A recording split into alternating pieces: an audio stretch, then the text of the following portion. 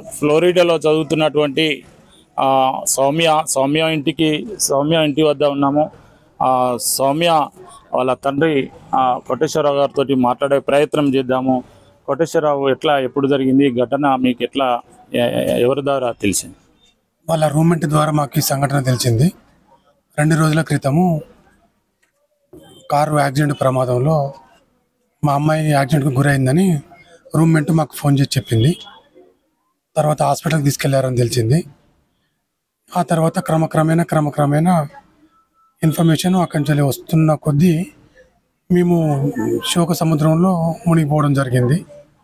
కాబట్టి మాకు తగిన సాయం కానీ మా అమ్మాయి పార్థివ దేహాన్ని కానీ తొందరగా మాకు అప్పగించాలని ఈ ప్రభుత్వాన్ని వేడుకుంటున్నాం.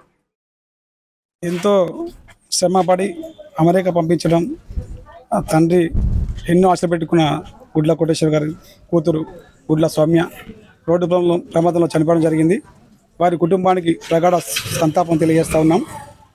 మరి మా ఊరు నుండి మా గ్రామం నుండి అంత పెద్ద దేశానికి అమెరికా పోయి అక్కడ చదువుకొని మా గ్రామానికి మంచి పేరు తెస్తానుకున్న తరుణంలోనే మరణించడం చాలా బాధాకరం.